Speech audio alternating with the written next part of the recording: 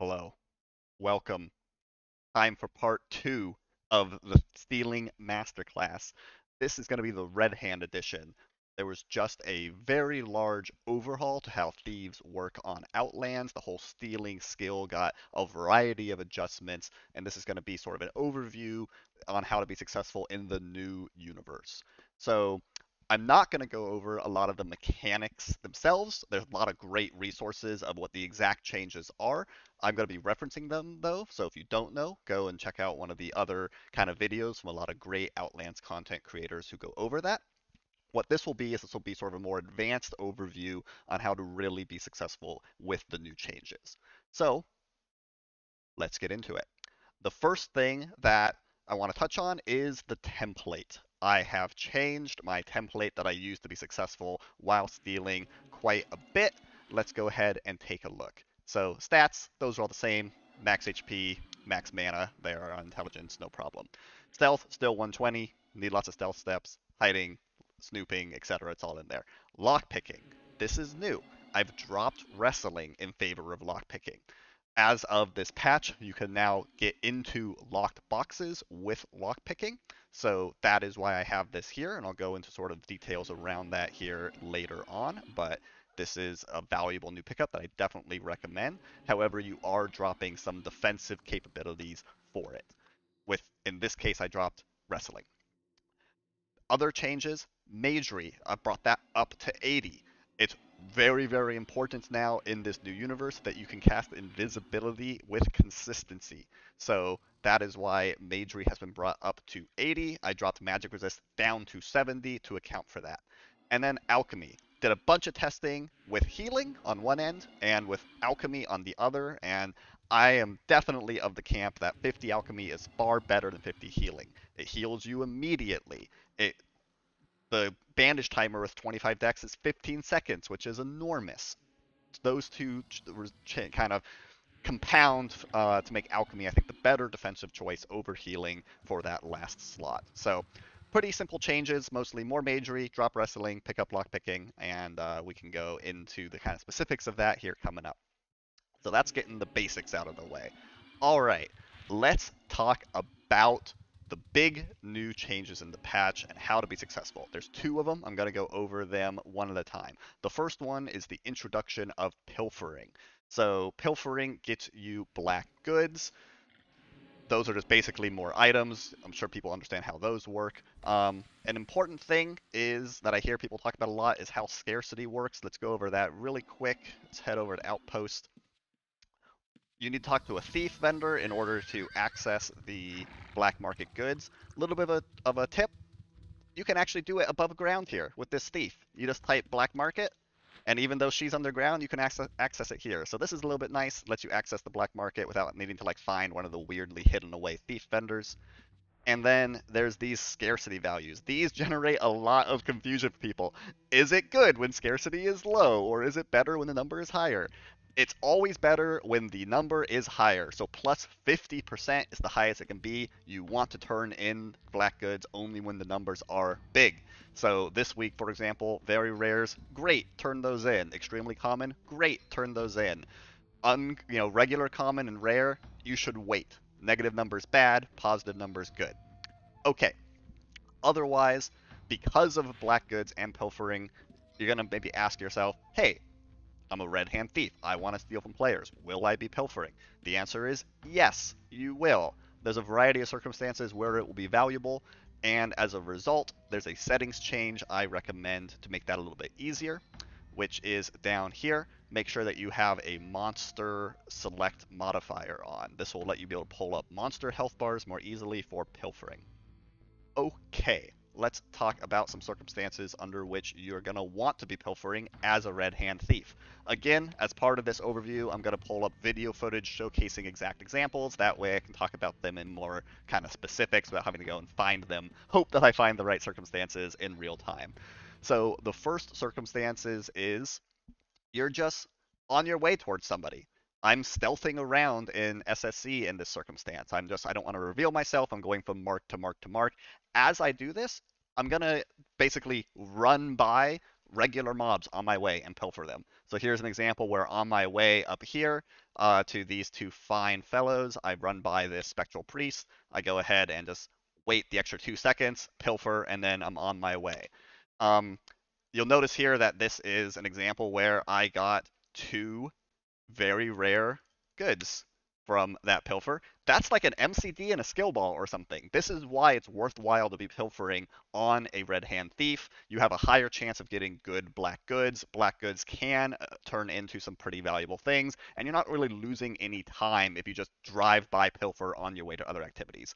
What I don't recommend is going out of your way to pilfer if it's not on the way towards doing a red hand activity. But it's pretty common to find them in that drive-by scenario as you're already stealthing towards somebody. Uh, the other case that is really common with pilfering is the guy just doesn't have anything, right? Here's an example where I'm looking through this guy's pack, check all of his trap pouches, nothing in them, you know, and I'm like, all right, that guy's got nothing. So I head on up here and I blow my steal cooldown on that familiar, and then I'm on my way to go do other things, right? So that's another example where you're on your way to a mark, pilfer. The mark doesn't have anything, and there's a mob nearby, pilfer. The other example, which is really common, is I'm on my way towards something. Like I just enter SSC here. I'm not gonna snoop these guys right here in the entrance. They probably just arrived as well. I'm looking to get down onto floor two. So I'm just running along. But as I'm running towards floor two, I see a mob. This is where a particularly nuanced mechanic comes into play. If you are pilfering, you have a much higher success chance while hidden makes sense. It's a thief mechanic. It's encouraging you to be hidden. Important distinction here. For some reason, invisibility counts as being hidden for the purposes of pilfering. So if you want to go really fast, you don't want to wait to you know the 10 second cooldown. It would take to hide and then steal. You can do this. You can run over to the mob, cast invisibility first, and then immediately steal since there's no cooldown, and then be on your way because being invisible again counts as being hidden for the purposes of pilfering. So this is a way where you can you're on your way somewhere, you wouldn't be stopping steal anyways. You can spend the extra 2 seconds to stop invis pilfer. Okay. Now, there's also another value add to pilfering beyond the black goods you're getting, and you see it here. I am getting aspect experience. It also gives you mastery chain experience. This is huge. There's finally a way to level aspects as a Red Hand Thief. You can see I'm actually rocking Shadow Aspect now. This is new as of the overhaul. This is really, really helpful for a variety of reasons. One, better disguise. I blend in. I have an aspect on. I'm not as obviously a thief. Two, it gives me more stealth steps. The more I level my aspect, the more stealth steps I get. That's great. And then three, there's a new mechanic to Shadow Aspect specifically, which is you now heal while moving if you are stealthed. So we can sort of see that here. This is actually extremely valuable. There's a lot of times as a thief that you're taking incidental damage, like right there. The I took a little bit of damage from that chandelier, right? Also I might get cut by AoE, you know, who knows what's going to happen. I'm taking a lot of damage because I'm a nefarious individual. You can see as I walk around now, I'm getting that plus five, plus five, plus five, and this is happening because of my shadow aspect. So a really, really helpful new mechanic here with shadow aspect that is letting you kind of recover incidental damage without having to stop, reveal yourself, cast greater heal, right, and then wait for the cooldown on hiding and stealthing again. Okay, so there's also another mechanic about aspect experience that you're going to want to be looking into, and that is that in order to maximize your aspect experience gain, you need to have a weapon and armor equipped. 50% of it goes to armor, 50% of it goes to weapon, right? This is why I have a spellbook equipped with Shadow Aspect, it's really important that you're going to want to be using a spellbook for this to make your lives easier. This is because the spellbook will not automatically drop when you're casting spells, and you can use your blessed spellbook. So as you're being killed all the time, you don't need to be worrying about replacing that weapon, right? Your blessed regular spellbook can just be aspected here. So that's great. And then finally, the last good thing about pilfering, which is it levels the new Thief Codex. Uh, this is a question that I see asked a lot, which is, hey, I'm a red hand thief. Do I care about the thief codex? Isn't it just for PVM? The answer is yes, you do care about it. One, because you should be pilfering. It levels your aspect, which is good for PvP stealing, and it's giving you a chance for rare black goods, which is great. The other thing, though, is that this codex does give direct value to PvP. It gives them in the form of overlooked. This will reduce the range of creatures in terms of when they will aggro on you. This is really, really valuable for aggroing other people onto mobs and not onto yourself. Really, really valuable. The other thing here, which is nice, is smoke bomb cooldown reduction. Smoke bombs are a new thing in the overhaul. They're amazing. We'll go over exactly how to use them to maximum effect here in a second. But you can also reduce the cooldown here. So you can see this is what I run. It's what I recommend. Six points camouflage, six points extortion, six points overlooked, and then one in distraction, and one in without a trace. That maximizes your ability to be pilfering, gaining aspect experience, uh, and gets you some of the maximized kind of PvP benefits. The reason why you don't go more points in without a trace is because it's unnecessary. You're not going to be using a smoke bomb faster than about once every 90 seconds. Okay, so that's basically it for pilfering. Good. You should be doing it. Once in a blue moon, you'll get something good from it. It's fine. Uh, now, let's talk about the other big change with the overhaul, which is the red hand system. So if I pull up my old thief friend here, you can see that there's also gray hand membership and red hand membership. We're obviously red hand. This means that we can be attacked from anywhere uh, and it means that um, we're going to be attacked much more frequently and need to be escaping. So I want to go over some more advanced techniques for how to survive and when those come into play.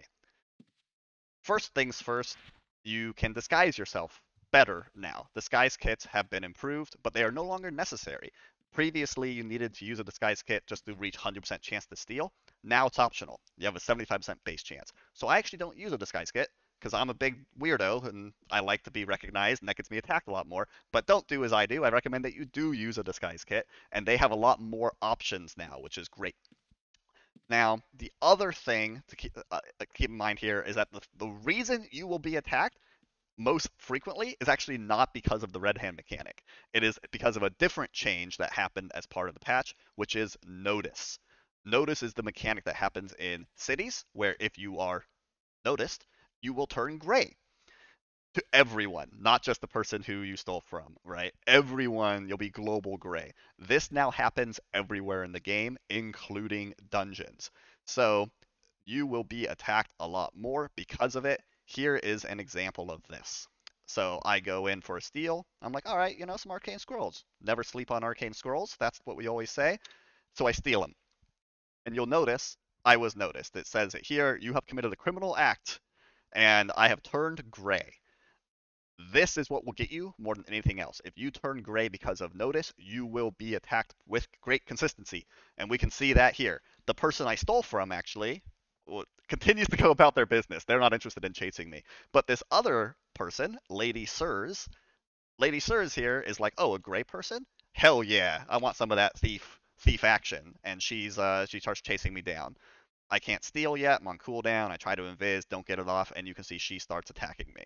This is really common. You're going to be attacked a lot more in dungeons now with the patch, and most of it is actually going to be because of the notice mechanic turning you gray, and not necessarily because of red hand. Now, in this case, Lady Sirs is a silly Dexter, so I can simply run through the transition point and hide, just like we talked about in the previous video, and this will, you know, get Dexters off your tail nine times out of ten. Pretty simple. Now, because you're being attacked a lot more frequently due to notice and a little bit of because of red hand, you need to survive a lot more. This is where smoke bombs come into play. Smoke bombs are an incredibly powerful tool for surviving, and you're gonna want to be using them. So it is important that you always have them in your loadout. They can fit inside of the uh, shelf here somewhere, somewhere weird. They're in the very last category. Here they are, smoke bombs to use them, uh, you can just make a Razor script for it. So I have one here under Thief for Smoke, and it's simply this, the click type bombs. I bind this to a hotkey, and there you go. You have a hotkey to use smoke bombs. Nice and simple. Now, how should you use smoke bombs? There are three things to keep in mind about using smoke bombs effectively. Let's go over them. you too can be a ninja with these three tips. The first one, there is no delay in stealing and then using a smoke bomb. You can take an item and then be fucking gone immediately. So here's an example where I have already triggered notice leading up to this point. You can see that my character is gray by the little gray aura underneath his feet. So when I steal here, it reveals me, and I am going to immediately, after I steal, use a smoke bomb because I do not want to be visible while globally gray. As we saw before, that's a recipe for Lady Sirs to come chase you down and try to kill you. So you can see I I already had the item on uh, last target there as well. I had been chasing that person, so I come up, I steal, and you can see I got a little command core here, and then bam, I use a smoke bomb. Instantly hidden. I was probably revealed for half a second after that steal. So if you are in a position where you think you will be attacked immediately after stealing because you stole something really good like an antiquity or you happen to be gray going into the steal, smoke bomb immediately. All right, the other smoke bomb tip. Misdirection. Stealing's a mind game. It's all about the art of war. Get in your opponent's head. What do you think they're going to do? Use that against them. So in this circumstance, I steal something, something on last target. What do I have? Oh, this little red die, metallic cherry die. It turns me global gray. I start running. I see that person uh, says all kill. We go back here. So we know that she's about to attack me. I use a smoke bomb before she gets the attack off. And then I immediately change direction the old misdirection, right? So I, I start going one direction, smoke bomb, do a 180, start running the other direction. The reason for this, she thinks I kept going in the direction that I smoked, right? So she's going to cast reveal down there, and, you know, she probably cast reveal a little bit further than where I smoked bomb, thinking I was still going in that direction. If I had kept moving, that reveal could have could have gotten me, and then everyone would dogpile onto me here. But smoke bomb, change direction, and then it's very, very unlikely they will cast reveal in the correct location. Good tip, works nine times out of ten, and then you can, uh, you know, dump your metallic cherry die all over your favorite chair and sit on it like a king or queen.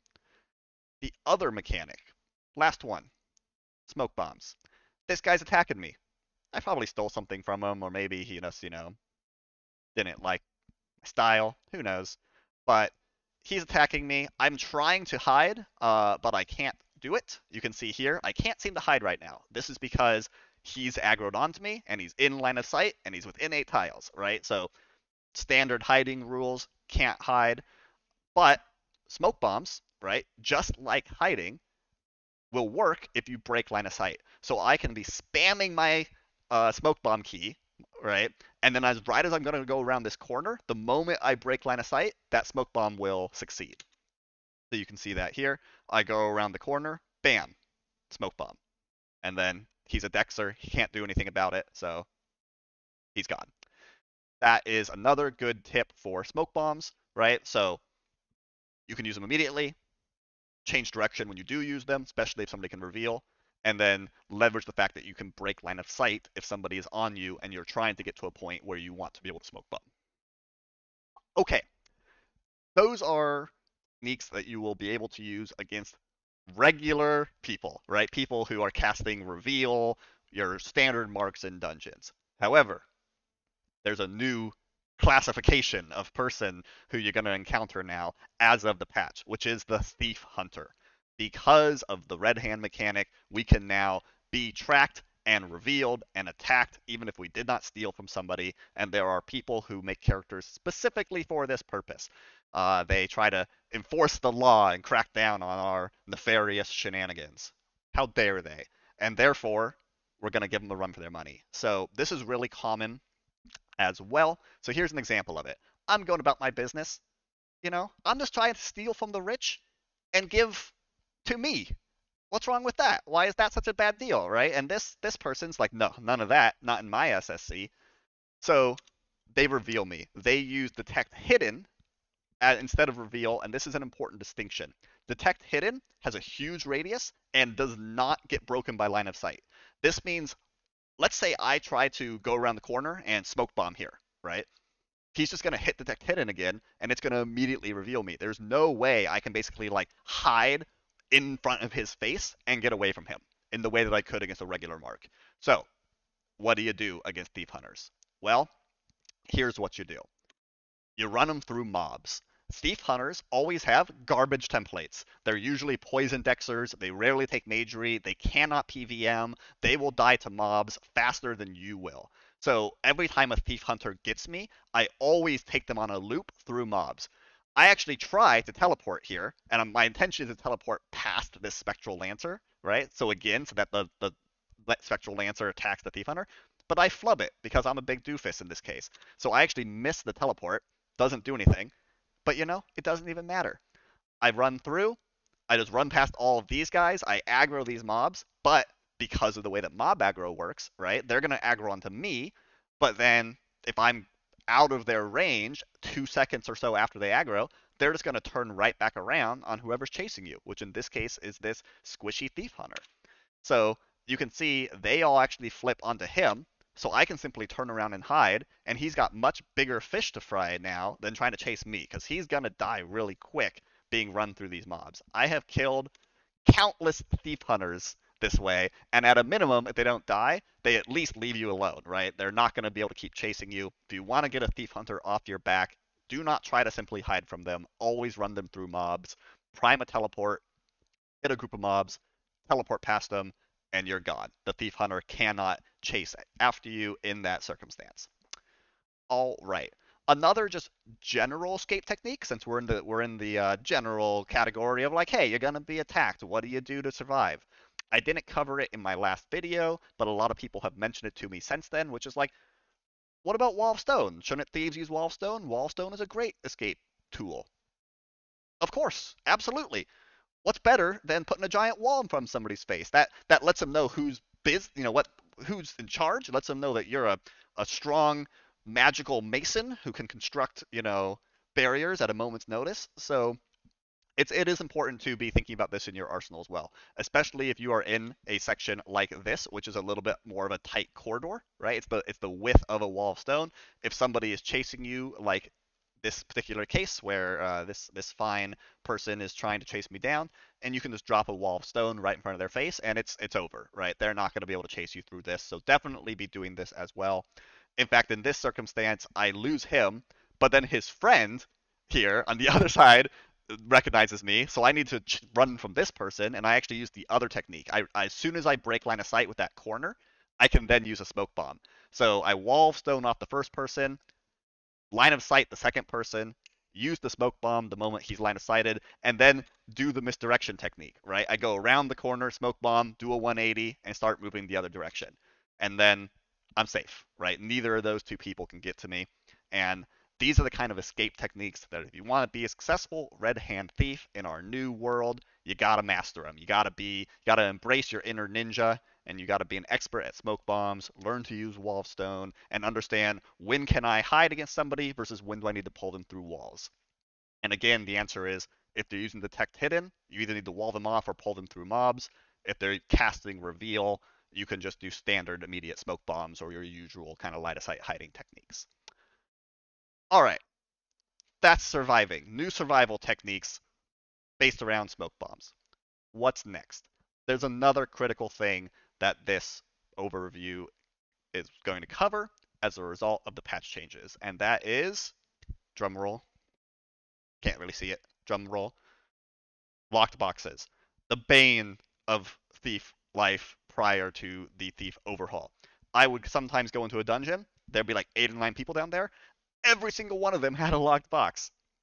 It's been changed. Now, if you have the lock picking skill, which again, we look at our template, we now do, you can now lockpick into people's boxes while it's in their inventory and steal items out of it. As a result, it's important to have lockpicks in your loadout now. So you can see I have smoke bombs in my loadout and I also take lockpicks in my loadout. Okay. Now, what's important to know here? The most important thing is that as a result of thieves being able to get into boxes, people have taken new precautions. They people will carry around decoy boxes that explode. They're trapped and they will kill you if you try to open them and double click them. So, how do you deal with this? There's an answer to that. The answer is you can actually tell if a box is trapped and is going to explode, or if it's not, and you can lockpick it without actually trying to do so and exploding. This is how you do it. Here's an example. I snoop this guy. He has two locked boxes. This is pretty common. You're gonna see this happen. One of these is his real locked box with loot in them. One of them is a trapped box which will explode.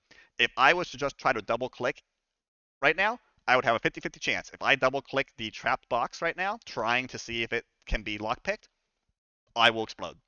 So, what do you do? The answer is you take one step back. So you can see what I'm going to do here is I take one step away from him, like that. Boom, I'm now one tile away. Locked boxes can be interacted with from two tiles away, but snooping requires one tile. Now, I can double click both of those boxes safely, even if, even if it is trapped, I will not explode. And you can see what happens here. I double click that one, boom, it says that is too far away. It does not say that is locked, and it does not bring up the lockpicking UI. That means that's trapped box. If I had done that one tile closer, I'd be dead right now. But now I know that's the trapped box. So now I can double click the other one which we do. Boom. Lockpicking menu comes up. Again, because this menu will come up as long as you are within two tiles. They work like dungeon chests. You can interact with them within two tiles. So using this technique of always interact with them first from one tile away, you can understand, is it a trapped box that's going to explode? If it is, it'll simply say, that box is too far away. Is it instead their locked box with loot in it? It'll bring up the lockpicking menu just like this. And most importantly, well, actually, that's most importantly. So this is second priority, is that you can lockpick from two tiles away as well. So as long as I am within two tiles, lockpicking will work. And most importantly, that will work if you are within two tiles when it starts and when it ends. You can be any distance in between it. So let's back up a little second. I start lockpicking, and then he moves and I chase after him, and I am then back into the range. I am back in two tiles when it actually attempts to succeed, and it says lockpick success. So it's actually relatively simple to lockpick into somebody's box, even if they're moving around. Be in two tiles when it starts, chase them around, be within two tiles when it ends. You do not need to stay within range of them for the whole lockpicking duration. The other thing that's worth noting is if he runs off, like he does here, this doesn't close. This lockpicking menu stays up indefinitely, regardless of range. So I can slowly stealth my way back to him and then start lockpicking right where I picked off. The progress that I made against it also saves. So it might take you two or three minutes of chasing after somebody, but you can, with 100% consistency, get into that box, and there's probably going to be something good in there, like a Supreme Instrument or Weapon Oil, or who knows, maybe an Antiquity. So this is a really helpful way to be just getting more loot. Again, especially if you use the technique of be two tiles away and then double click all the boxes and then use that to determine which one is going to explode you versus which one is, is the actual one you want to be lockpicking. Okay, that is the patch changes. So everything there is the sort of changes I have done to be very successful uh, in the new Thief Overhaul universe. I find myself being just as successful as I was prior to the Thief Overhaul. I am killed roughly the same amount of times. Um, I am attacked more, for sure, but they have also given thieves way more tools to survive when you are attacked, such as smoke bombs. So good overall. You know, it's it's it's good. I get I get more stuff from pilfering. I can level aspect. I can level my chain. I have can get into locked boxes. I'm not being killed more. Um, there's more opportunities for people to try to be attacking me, which makes them hopefully feel good, even if they're a stupid thief hunter who I just kill by running through mobs. Um, it's it's good as long as you employ these techniques. You too can be a master thief. Now, there's some other stuff, some other fun things. So this is the second half here, right? The other half of this video is going to be just new tips and tricks that I have learned, not related to the patch, just new things I have picked up since the last masterclass video. So these are just generally good things. First, there's some housekeeping, some things I just forgot to cover in my last video. One, you always want to have these two buffs up before you go into a dungeon. You want to put magic reflection up. It's critical. They try to paralyze you, it's going to bounce it back on them. They try to flame strike you, it's going to roast their face. And the other one is reactive armor. It does something for Dexers, makes them harder to kill you or whatever. Have both of these on, they last forever. Otherwise, kind of like we talked about, add smoke bombs, add these to your loadout, and um, also I've added, if I see it on here, mm, next page, there we go. One strength potion. This is also a really helpful thing to have on you. If you find yourself finding somebody with a lot of gold in their corpse, you can't carry it all out, you can pop a strength potion, carry more gold, take it out of the dungeon. If if you're almost at weight capacity and somebody casts weaken on you, and you get stopped in your tracks because of weight, hit the strength potion, go along your way. Having a backup strength potion is good. I don't carry more than one because it's pretty infrequently I need to use it, and I want to maximize the, num- the amount of items and weight of items I can store in my backpack uh, to really maximize my haul out of the dungeon. So some quick loadout uh, housekeeping. Also, you're going to be using full armor loadout for sure now because it's required for aspect, right? So I have a healthy supply of leather armor uh, that I use just to make sure I can keep my aspect on. Some basic stuff. Let's get into the the other fun stuff. So stealing is all about last object, right? You set something on last object, you steal it, and you maybe sometimes go in for the steal, and it doesn't work. It fails. You got to go back around. You got to try again. If somebody's attacking you during this and you cast greater heal on yourself in the the usual fashion, right? Um, you know, you go into your book and you're like, I would like to heal myself, greater heal. Bam, cast it. Targeted on myself. Even if you do this through a script, like cast greater heal, wait for target, target self, it's going to change your last target to you, and that'll break. However, I've learned something, which is sort of weird since the last video, which is if you do this through the built-in razor heal, this one, greater heal slash cure self, this will cast greater heal on you without changing your last target. So make sure that you are healing yourself via this specific built-in razor functionality, greater heal slash cure self. Now, you can set an item as last target, get whacked in the face, heal yourself, hit steal last target, and it will still succeed. It will not get replaced with you when you heal yourself. So that's a good one. Other thing that's really valuable. I recommend turning on do, do, do, a new setting here. And I should have looked at where it is prior to recording this so I don't look like an idiot as I kind of look around for it, but bear bear with me. It's in here. It's in here somewhere. I know it. I know it to be true. Deep in my heart. Maybe it's in interface. No, maybe it's in Pretty sure it is in general. Where I wish there was a search functionality. Um, here it is. Show HP. Mobiles. Show HP. Line always. This is really important. This will put this bar underneath people's hit point, hit, uh, underneath their character models. Why is this important? Why do I recommend this? Show HP, show line always. It is because I am tired of going around a corner into SSC and then getting blasted by a marksman that I couldn't see because they were behind a wall.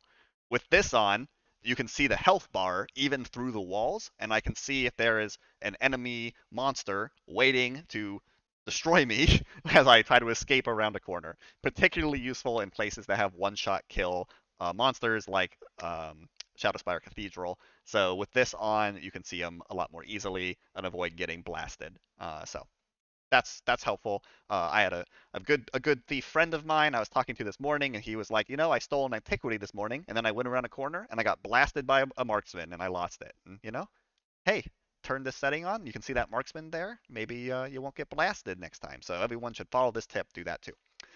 Okay, now let's really get into some uh, some advanced techniques.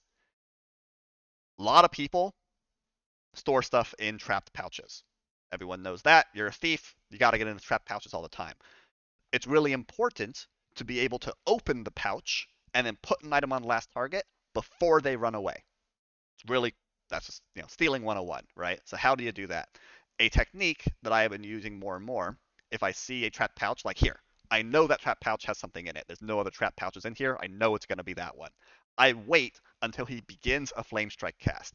If you try to open a trap pouch while they're casting a spell, it locks their character. Even if they notice immediately and they try to get away from you, they can't. They're locked in place for this duration.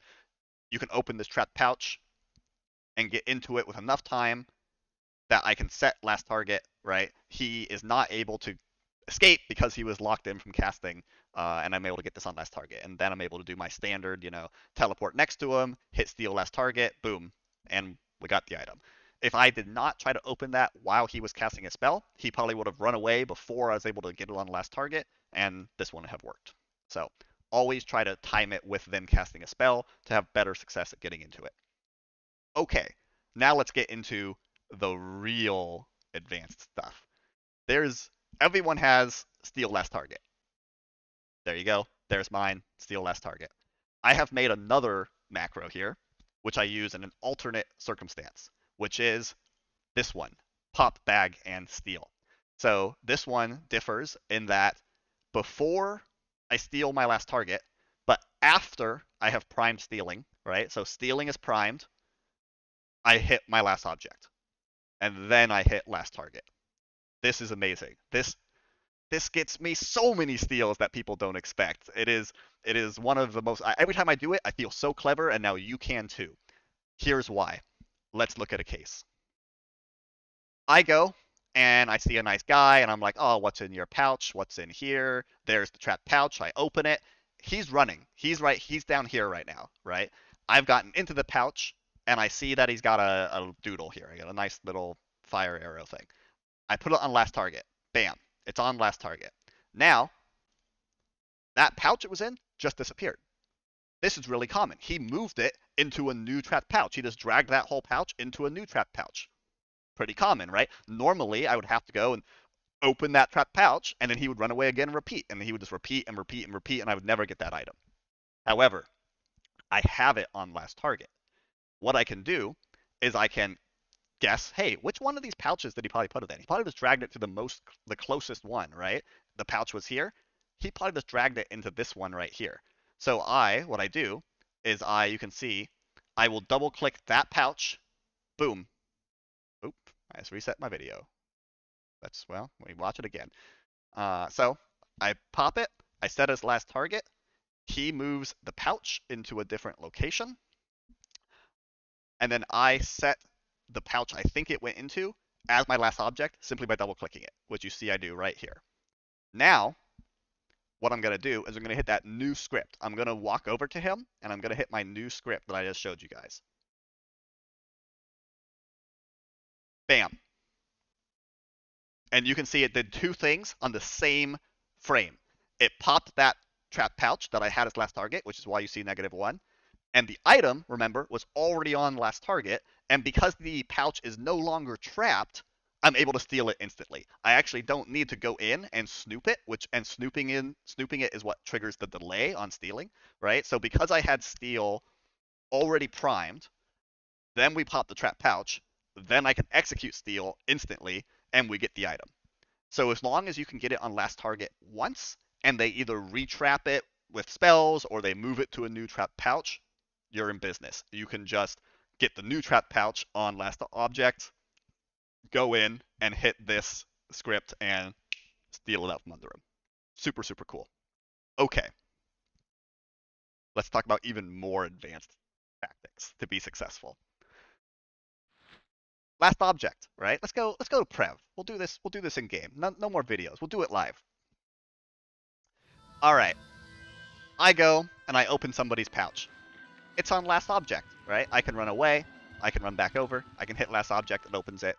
Easy peasy. Everyone knows that. But I'm like, okay, what if we do something that you kind of see in like RTSs, right? You can like have different units on different control groups. I thought, why can't, why don't I do that for bags? So that's exactly what I've done. If we pull up Razor here, I now have two new hotkeys here, set bag one, set bag two, and you can see the scripts here. It's straightforward. I bind these, and then I have another set opens them. Declick bag one, declick bag two. Now, and I have these on like shift and uh, and regular. These hot, it doesn't actually show it down here. Let's go into here. Bag bag one, you can see I have like set bag one is shift and then snoop bag one is regular, right? So let's say I want to open this black pouch he has. Now I can set that to be F2. So I hit my save hotkey. Now that bag is F2. This basically lets me have multiple last objects saved independently. Now I can open his regular bag, right? It's on last object, so I can run over here, hit F1, which is my last object key, that opens. Or I can run over here, hit F2, which is his other bag. No longer do you have to worry about only one thing being on last object. I can you can have as many of these hotkeys as you want, right? I have a third one on F3, so I can open this guy's bag, you know, that one right there, save it as F3, right? Come over to this guy, F2, that's his bag. Run over this guy, F3, that's his bag. Both of them were weirdly empty, so not, you know, kind of a weird example to showcase, but basically, I can be storing many, many bags independently and this is really really helpful especially because there's a circumstance that a lot of people have where you go into somebody's bag and they're going to have a whole bunch of trap pouches in it. They usually have all their trap pouches in one particular bag which surely there's somebody in here who's a good example of this. There we go. Bam i can store this bag on f2 on one of my hotkeys start looking inside his trap ones right then he moves i haven't got through them all i clicked on three of them there there's three more he moves, the bag closes. This is great. Last object is one of those trap pouches. It's useless to me, right? But now I can chase after him and hit my other hotkey, and I've saved that bag with his trap pouches in it. And now I can just keep going about my business and look at the other three that I know I didn't get a chance to look at before. And if this bag was hidden somewhere deep in his pack, I don't need to go through the process of re-snooping him to get here. I can just save it on these hotkeys. And again, you can have as many of these hotkeys as you would like. This is very helpful. Okay. Bag hotkeys. There's now one more incredibly advanced technique that leverages these bag hotkeys, uh, which I have just put together here as well. And that is finding hidden pouches. Something that is really common is people will put, uh, you know, pouches underneath other pouches. So you can see it's pretty common in the upper left, right? You have nine trap pouches and one real pouch underneath it. Now you could get into this in a couple different ways. If somebody has that circumstance, right? They have a bunch of, of hidden pouches. One way is you can go into Razor, you can go into options, you can go into targeting queues, you can check object delay on, and you can change this to 4,000 milliseconds, four seconds, right, and start dragging. This is the technique everyone's familiar with. It works, uh, but you know, it requires you to alt tab in the razor, requires some weird stuff. So I have made a new script, which I will show here. Beef search pouches. Uh, it's hard to see here, so I'll bring it up in Visual Studio Code people can pause this and take a look at what this is doing if they are curious. But what this does is it will put any non-trap pouch on the first two, since I use two bag hotkeys, but you could use more. It'll put the first two non-trap pouches in the bag I'm snooping onto those bag hotkeys. This is great because if one of their bags is in a place that's hard to get to, one of their pouches is in like underneath other trap pouches, it's no problem. It puts it on that hotkey and I can access it much more easily. So let's give it a try. I go into this guy's pouch. I see that he has a bunch. Imagine that all these trap pouches were on top of this one, just for the sake of this, this experiment. I hit my save hidden pouch to bag hotkey script, which is the one that I just showed, and now it saved the first non-chat pouch to my bag hotkey, which is F2, and now I can get into it. And he has nothing in it. What are all these people with nothing in their bags? But that's a really helpful technique for basically getting into people's pouches a little bit more easily and in a way that's a little bit less brittle because you can continue to click around and not have last object ruin your life as you're trying to find cool things in people's pouches. Um, so if, if somebody does have some hidden thing, right, you can just slam it onto one of your bag hotkeys and get into it a little bit more easily than it would otherwise take. Okay. That's it. That's the new set of tips and tricks. A lot of cool stuff here that has helped me be way more successful now, um, both as a result of changes in the Thief Overhaul, also just some new cool tips and tricks, bag hotkeys, you know, being able to steal those items out of a pouch, even if it's in a trapped pouch already, as long as you have it on last target. Just some some new cool tips and tricks that will hopefully make you Outland's next Master Thief. So let me know if these work. Go ahead and throw me a message if there's something here that I didn't cover that you've discovered, which is cool and exciting. Um, but this is kind of the the latest and greatest on how to be a Master Thief. I hope everyone had. Wow, look! Whoa, look! You see that? You see that guy? I'm just talking about how to be a Master Thief, and he's he's talking shit. Um, we're gonna have to go steal from him later. All right. Well, that's it. I hope everyone has a good, successful time stealing, and I will see you guys all probably in Serpent uh, Shadow Spire Cathedral. That's where I hang out. Bye bye.